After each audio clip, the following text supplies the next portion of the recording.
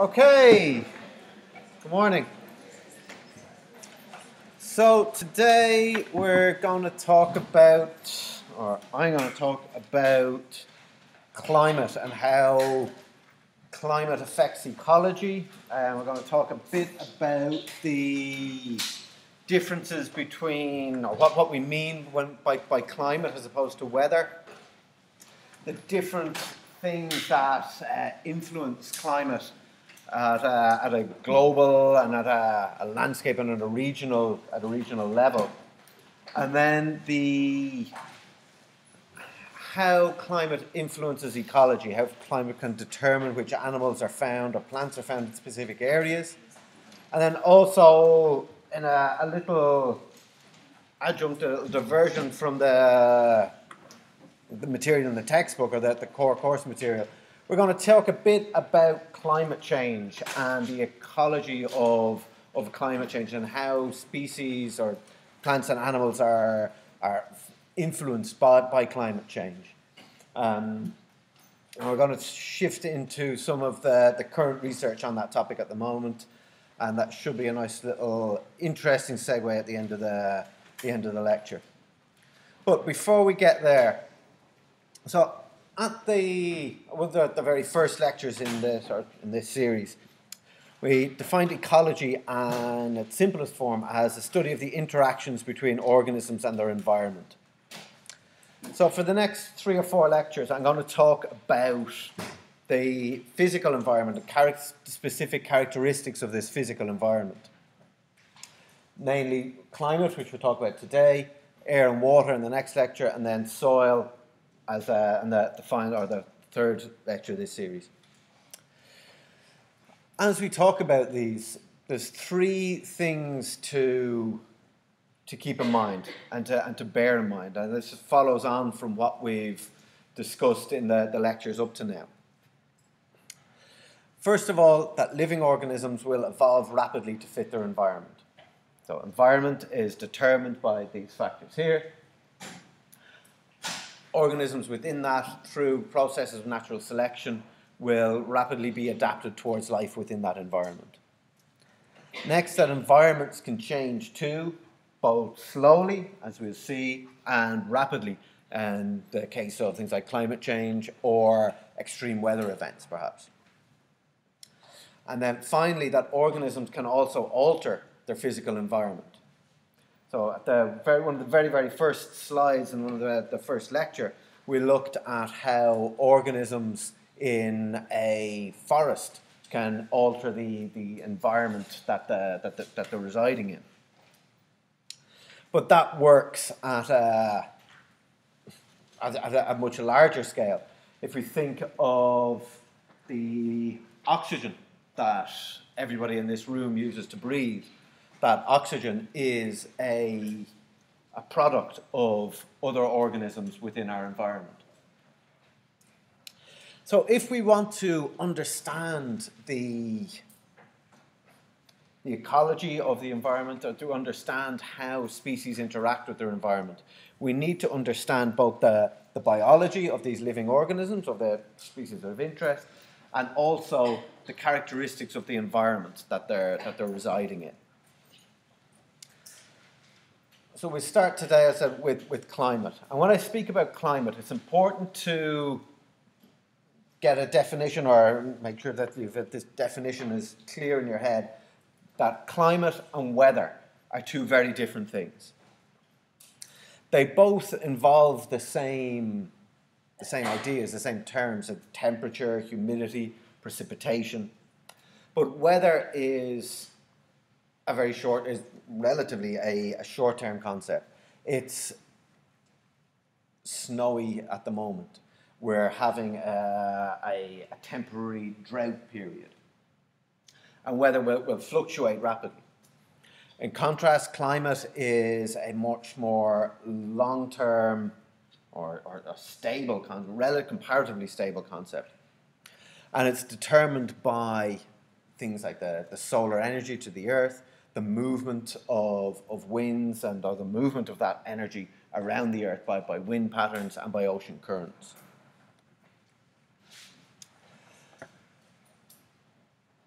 the, the basis of all of this, the basis of this, of this, of this energy of, of temperature, and as we'll see also precipitation, is solar radiation. Is solar radiation from the sun landing here and influencing the influencing the climate on the Earth. So this plot up here in the top left should be pretty self-explanatory, explanatory, but pretty clear to or pretty evident to anybody here as to what's going on. We've got shortwave radiation, solar radiation comes hits the Earth. It's either absorbed or reflected. Reflected radiation often are re reflected as long wave radiation. This long wave radiation either passes through, reflected all the way out, passes through the atmosphere, or is hits cloud bodies, reflected back in, back back down to Earth, or is trapped by within the atmosphere. And the key in this, this trapping is that um, greenhouse gases, carbon dioxide, is a, an, an agent of, the, of this trapping. And the reason, if, we, if there was no carbon dioxide anywhere in our atmosphere, the Earth would be around about 30 degrees colder than it is today, and life wouldn't exist. The reason that this planet is habitable is because of greenhouse gases and uh, the warming, the insulating effect that they have on, on our atmosphere. As we, as we see later on, that as you increase these greenhouse gases, you increase this insulating effect, and that has, has reper repercussions in terms of climate. The radiation that's hitting the Earth is not evenly dispersed.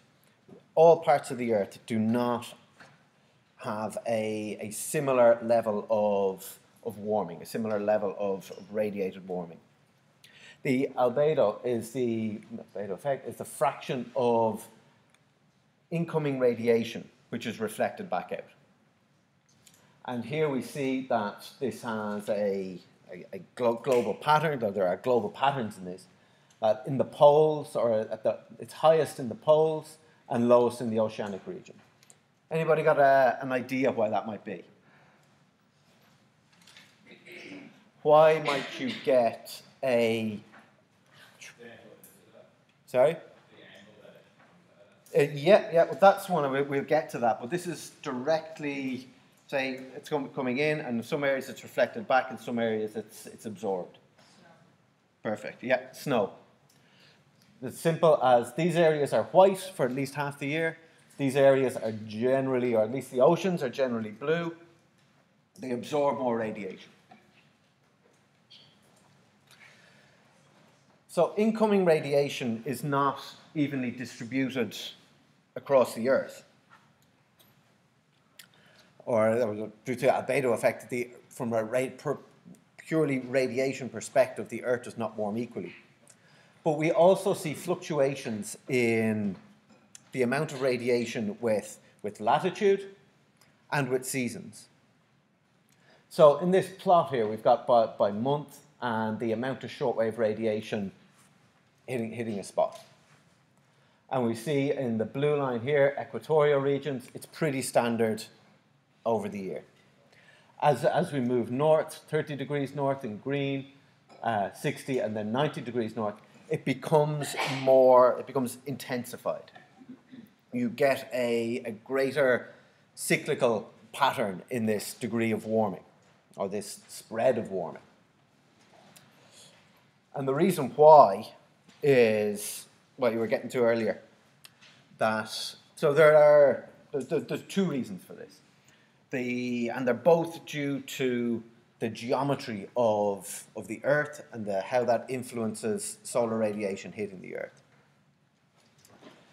First of all, as everybody here uh, knows and hopefully agrees, the Earth is round. As a result of this, radiation hitting the Earth from a, a direct source will be in will be area over which that radiation is spread will be a, a function of the curvature of the Earth. So where that radiation comes from the sun hits the Earth right on the equator, it's a very direct hit. All that energy is spread over a very small area. Alternatively, if the Earth where it fits hits closer to the poles, that same degree or that same amount of energy is spread over a, a much larger area. So that energy has, it's, it's, it's more diffuse.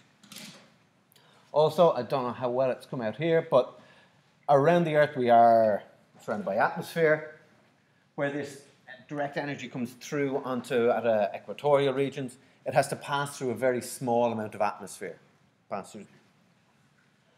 At the, the polar regions, it must pass through a larger amount of atmosphere. So this atmosphere will absorb some of that energy, will reduce the amount of that energy which hits the, hits the Earth.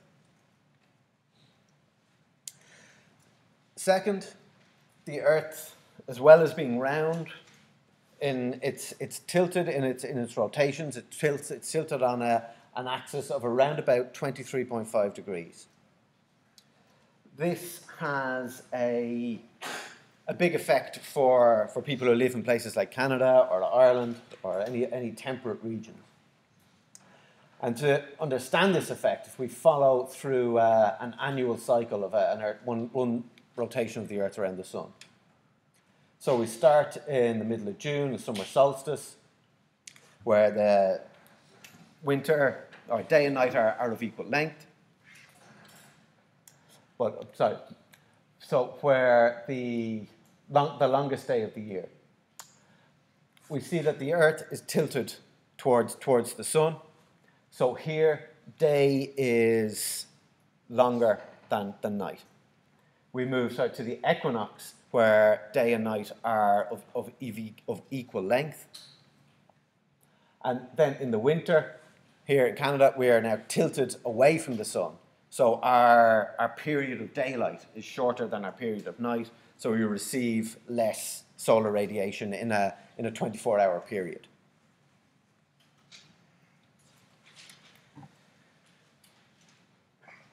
So the radiation hitting the Earth is, or the degree of warming is, is uneven. And if we take that to its, its logical extreme, we'll get a situation where the equatorial regions are, are, are, are desert, are, are, are, totally dry, arid, and that the polar regions are a, a frozen wasteland. That doesn't, doesn't happen. And the reason that doesn't happen is, again, due to uh, aspects of physics which, which help us out. As the, so essentially the wind currents will redistribute the, this warming, will redistribute this air, this, this energy around the globe. The simplest way to think of this is a two, two current systems, one operating in the northern hemisphere, one in the southern hemisphere. The equatorial regions warm faster they, they, become, they become warmer than the polar regions. As this happens, that air, that warmer air, starts to rise. Cold air from the side floods in underneath it and forces the warm air back out over the colder air. That results in these global patterns or potential global, hypothetical global patterns of, of convection, of energy transport from the poles or sorry, from the equator to the poles. And well, it's a quite, we'll go through some of the complexities of that in subsequent slides. That is, in, in essence, what happens. That you get a movement of, due to, due to winds and oceanic currents, you get a redistribution of heat from the equator towards the poles. So that's the, the simplest case. it doesn't, unfortunately or fortunately, it doesn't quite work out like that.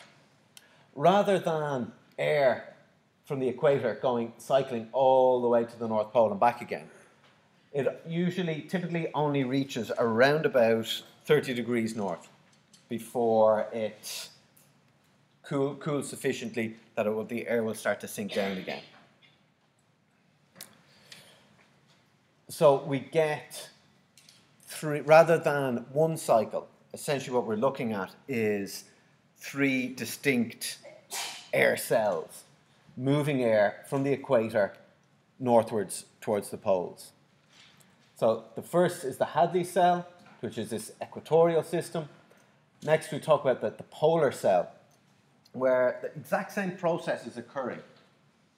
That at the, the southern extent of that cell, the air is warmer than it is at the northern extent.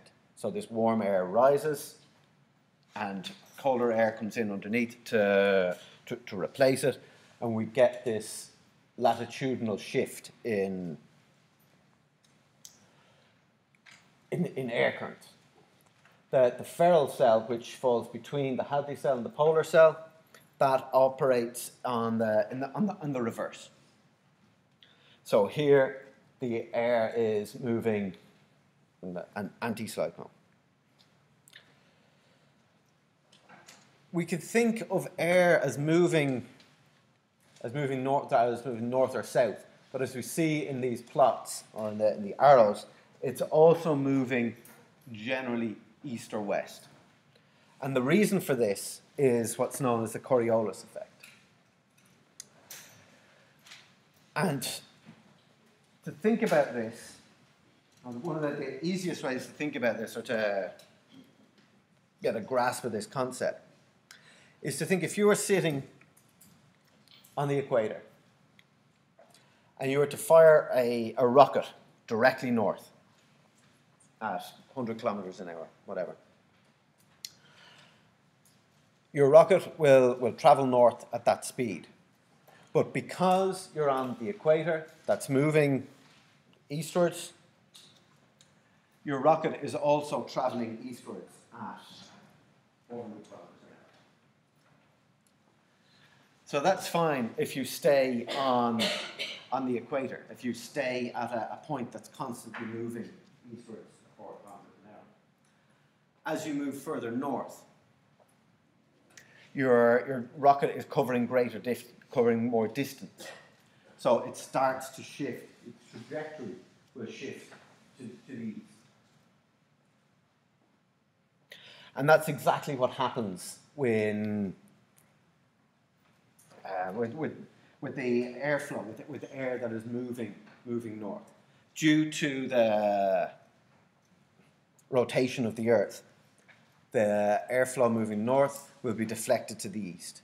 And similarly, air and water moving southward, or moving towards the equator rather, rather than north and south, will be deflected to the west. When you combine both of these patterns this latitudinal movement due to temperature and longitudinal movement, east west movement, due to the Coriolis effect. You get the prevailing wind patterns which, which, which govern the Earth, which are found across the Earth. And essentially, the, the, clearest or uh, from a from our own experience to work on on our own area, what we see is this current of air moving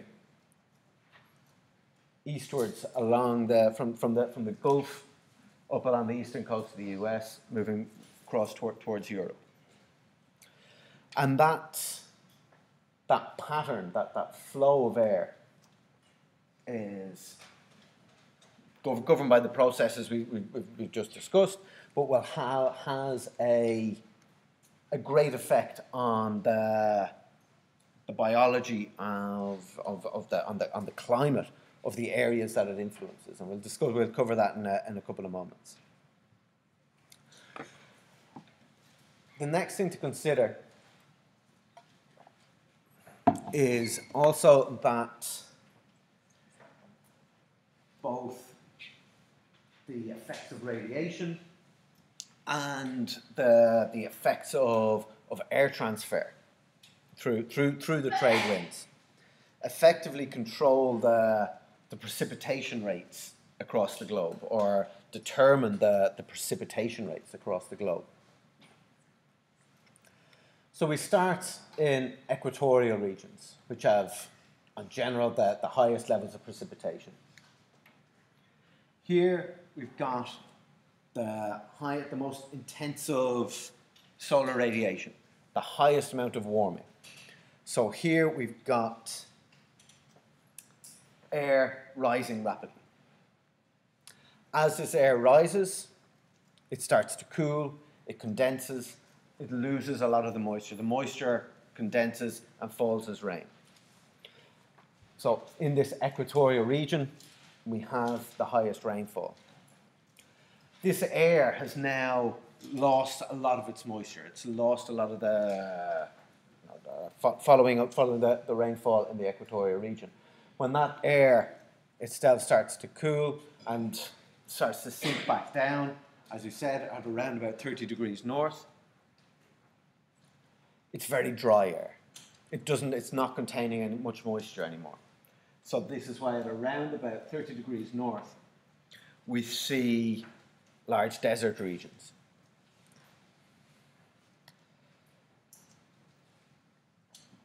So just through the the process, even without factoring in the the roles of the of the trade winds, or the, the effect of the, the transfer of, of air.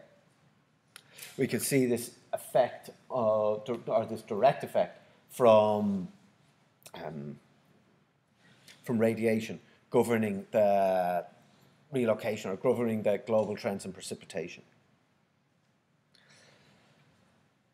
But to take this on a, a level further, we see here the typical trends as there are as there are trade winds, there are and there are typical patterns of, of airflow, there are also typical patterns of, of ocean currents. Ocean currents, for the purposes of, of this lecture, are predominantly driven by, by airflow. They, are gener- they will generally follow the direction of the trade winds which is why the, the arrows we see here, again, we're going to deal with this area, the North Atlantic, quite closely represent what we see here in the terms in the in relation to the trade winds. So North Atlantic, we've got a, a movement toward, towards the pole, a movement eastwards, northeastwards. The polar regions, we've got a movement southwestward, and also equatorial regions, a movement southwestward.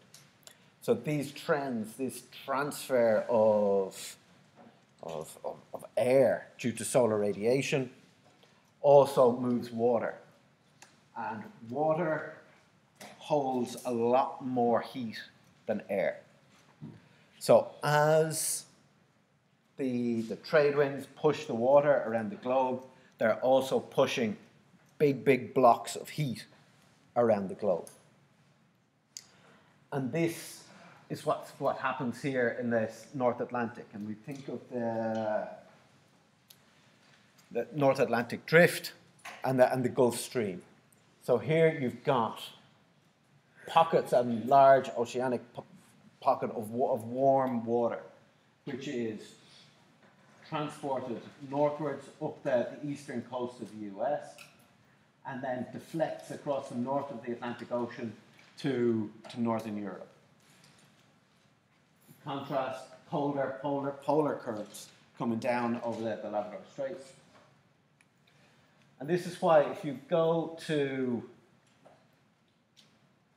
areas of, of northern Canada and areas of northern Europe, the, the climate is extremely different. The, where here you've got areas which are icebound for, for six months of the year, in, at the, the same latitude in, in Northern Europe. You've got places in Ireland which are waterlogged for 12 months of the year. And these patterns are, are repeated ac- across the globe in, in different areas. We see the same, the same physics, the same processes governing both temperature and precipitation at a, at a, at a global scale. So that's, that's at a global scale, and that's how these continental patterns move, our air patterns move energy, move solar energy around, around the globe. But the vast majority of species that we as ecologists are interested in, or systems that we as ecologists might be interested in, operate at a, a far more regional level or are influenced at a far more regional level. So we need to understand geographic things which influence geographic variation or local regional variation in climate. And we're going to talk about two of those over the next couple of slides. The first is this, is that the rain shadow effect.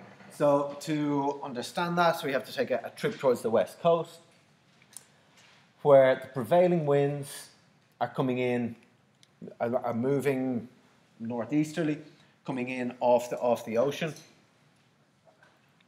and they are moisture rich. So as they come on land, they hit the mountains, hit the Rocky Mountains, the air is forced upwards. As it's forced upwards, it cools, the moisture it's holding condenses and falls as rain. So you get a, a high degree of rainfall on the windward side of the mountain, high degree of precipitation, windward side of the mountain range. Whereas once the rain or once the, the air has, clear, has passed over the, over the mountains, it's dropped the majority of its moisture. So on the, on the leeward side of the mountains, you get very arid semi-desert regions. So this is an interaction. This is where you need to think of an interaction between the, the climate you're studying or the, the geography of the area you're studying and, and where it's located. And this works not just at a, at a, at a, at a mountain scale or at a, a landscape scale.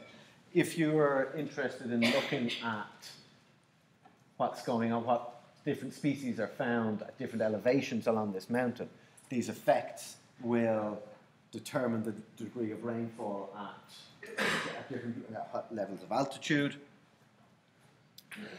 There'll also be effects such as where the, the, the orientation of your, of your system, how, where if it's facing southwards, it's going to be warmer, it'll receive more sunlight. Facing northwards, receive less sunlight.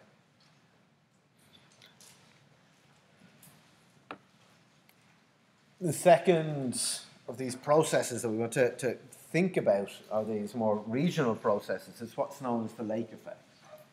So I mentioned earlier that water holds a lot more heat than land. Water is a, a better vector of, of heat than land. And because of that, land will heat faster and cool quicker than water. So if we have a, an area of land beside a large lake, and we think we go through a, a 24 hour cycle. So during the day, the land warms up rapidly. The land becomes warmer than, than, than the water beside it. So you've got a, a warm area and a cool area. What's going to happen? What's going to happen to the air sitting above this, this landscape? Will it remain, will it remain constant? Anybody? So you've got a think of this as a, a, a mesogon, a paled down, or a pared down version of what's happening at, uh, at on a global level. So on a global level, we have areas which are receiving a lot of direct sunlight in the, in the equatorial region, and areas which are receiving very little or relatively small amount of sunlight, relatively small amount of solar energy. What happens to the air that's sitting above those two areas? It circulates, yeah. So the air that's sitting above the warmer area will rise, and will start to, as it rises, the air that's sitting above the cooler area will move in to replace it. The exact same process will happen in, in this uh, lake land scenario. We've got a, an area of warm land and an area of cooler lake. The, war, the air above the, above the land will rise, and the cool air above, on, above the lake will, will flood in to replace it.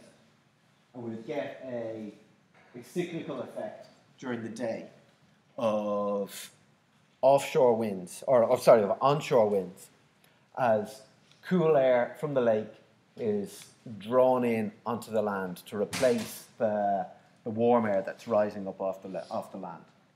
What happens during the night?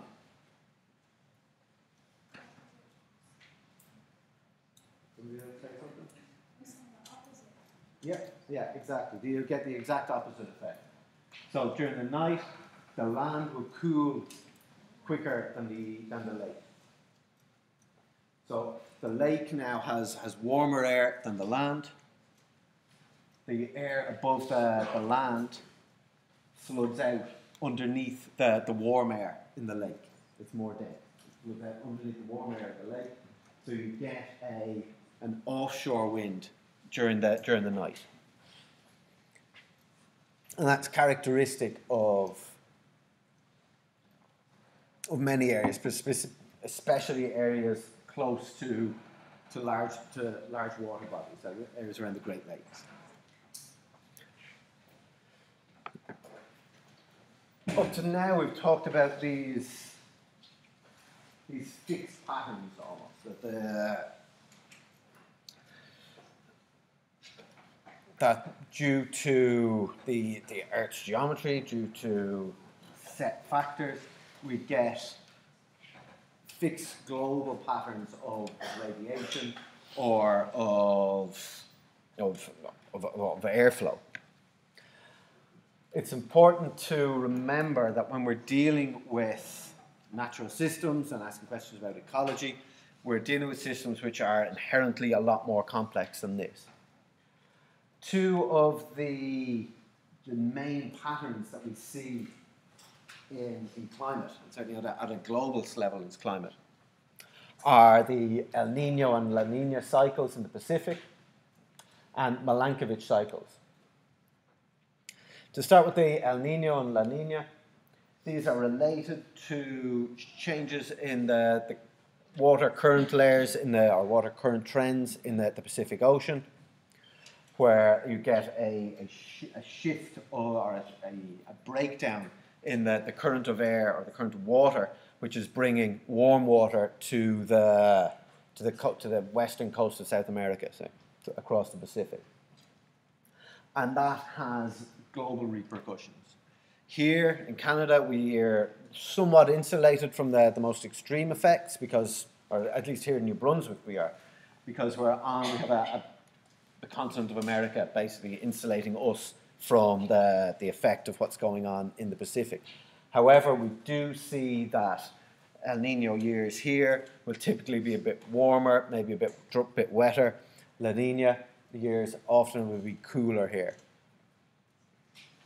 The Milankovitch cycle is a much longer cycle and regulated by shifts in uh, shifts in the Earth's trajectory. So. And that occurs at around about 100,000 year timescales. And that will be related to slow warming periods and cooling periods. And cooling periods during this Milankovitch cycle are is when the, the last glaciation, the last ice ages occurred.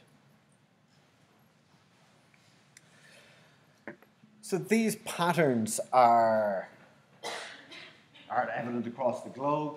We know that there are differences in, in climate across the globe due to what we've discussed up to now.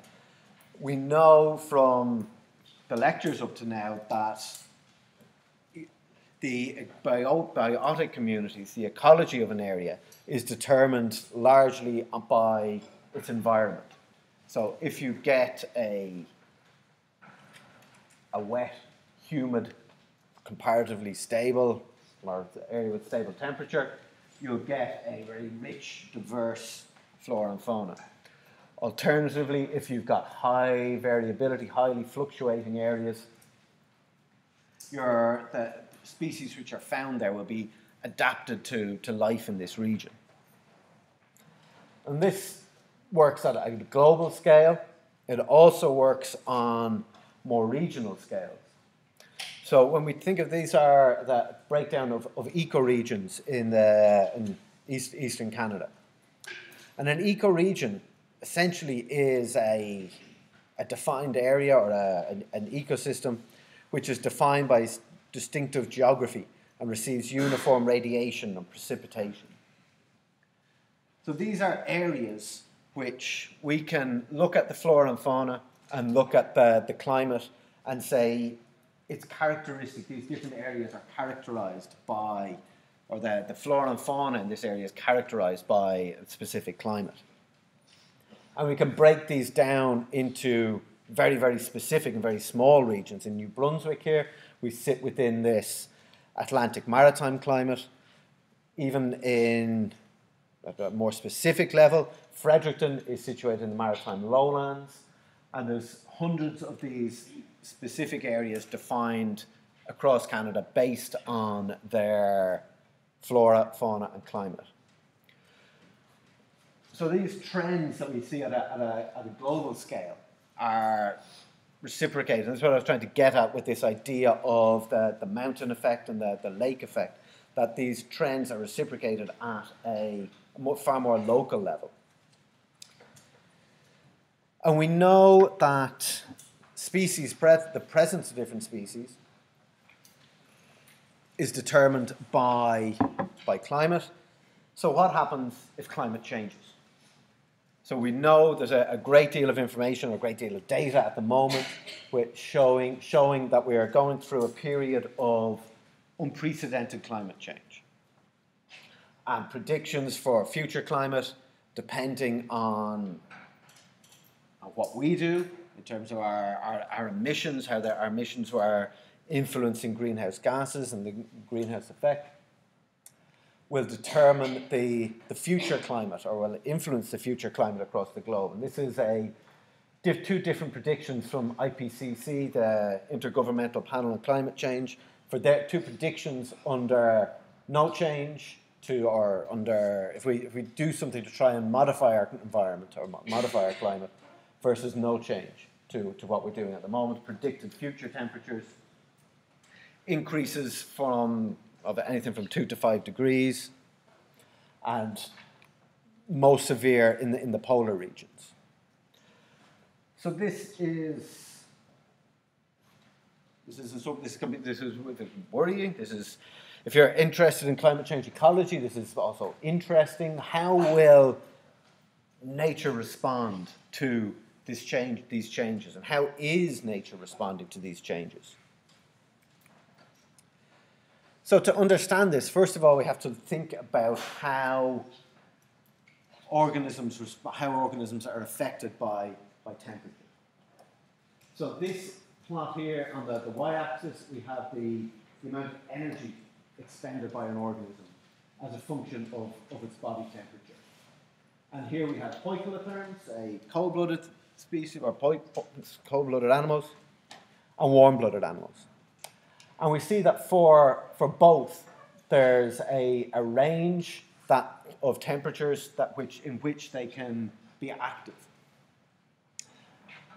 for, but for, and also for both, there's a range of temperatures in which they are most effective. And these can be defined as the, uh, the performance breadth and the, the, the tolerance range of, of a species. If a species is in, in a region, and we, we're taking a, the, the curve for a cold blooded or, organism here. If a species is in a region and that region goes through a change in temperature, the especially for cold-blooded species which are unable to uh, insulate themselves against temperature or are lesser able to insulate themselves against changes in temperature, their success, their fitness will, will be influenced, will change. So here we've got a shift in, in relative fitness for species at body temperature A. If you increase body temperature, or if body, temperature decreases, fitness decreases. Body temperature increases, fitness decreases. So, if we, so species at a, an organism or at an individual level, at the level of a, an individual organism, are, are, are influenced by, by temperature. They have areas in which they're, they're most effective, but they also have thermal tolerances. So this figure is, I'm going to put a couple of these papers in, the, in D2L so you can access them. This is from a paper that was published just a couple of years ago. So we're moving from textbook ecology right the way through to current cutting edge thought on how climate change will influence species. So we've got a plot here for, for birds and for mammals, and different groups of birds and mammals are color coded by different colors. I don't know if you can see these grey lines underneath. Essentially, what we've got is, or what you're looking at, is across a degree of latitude and, and a temperature range. We're looking at the, the thermal tolerance levels for a particular species. So one species here, its thermal tolerance range is between 20 and 30 degrees. The majority of species are found at minus 40 degrees latitude, say. We follow that through, you get different, generally different ranges in different latitudes. What happens, and this is characteristic of, of birds and of mammals. So, what we're asking as ecologists is what happens if you change the, the temperature in a region? If instead of the, so the grey bars are the, the general temperature, the temperature ranges within, at that latitude. What happens if you change that grey bar? If you change the the temperature range where the species is found. These plots here show the, the difference between the species' thermal tolerance and the ambient temperature in the region. Again, just focus on the top two for now. For under current scenarios, under current situations, for birds and for mammals. In the most in most cases, the species' thermal tolerance is above the ambient temperature. So that's, that's okay.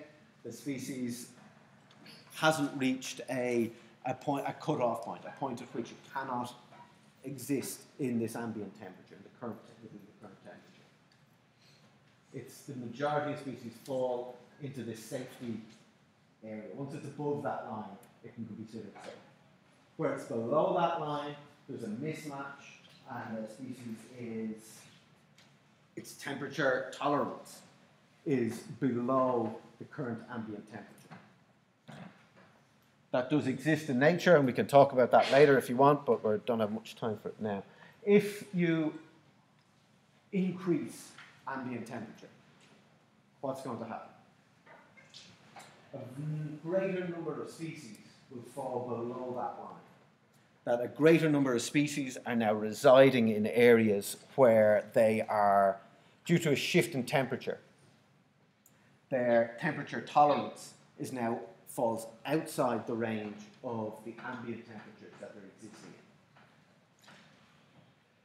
This happens across the globe, and it, it's bad news for, for, for species. Essentially, these two plots here just show the, a different representation of that same data. The, the degree of the number of the proportion species which are at risk, which are under threat due to due to climate, due to being outside their, their temperature range. And at a globe, this is just showing that it's not isolated to specific regions. This is a, a global pattern in both birds and in mammals. What happens, how species respond to this, is a big question, a big one of the main current questions in, in ecology, trying to understand what is going to happen as climate continues to warm. There's two scenarios. The first is that species will just migrate. That populate either individuals will migrate to an area uh, which is more suitable, or through selection, Indiv- populations will be extirpated, will become extinct in areas which they're not able to live due to climate change, but instead their populations will grow in areas which become habitable for them through climate change.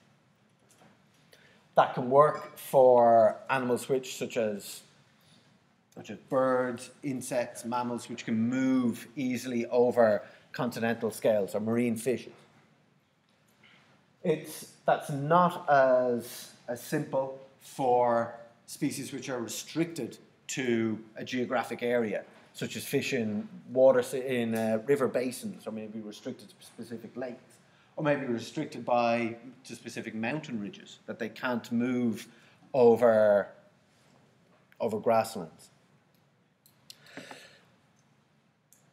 This is where this is where, where, where, where we get to when we try to think about the effect of, of climate on ecology. The two things are, are massively interlinked, and while climate will determine what species are found where, future changes in climate will determine which species are, can, can adapt and which species cannot. So in the next lecture, we're going to move on from this. We're going to talk about water and how, how water influences species distribution.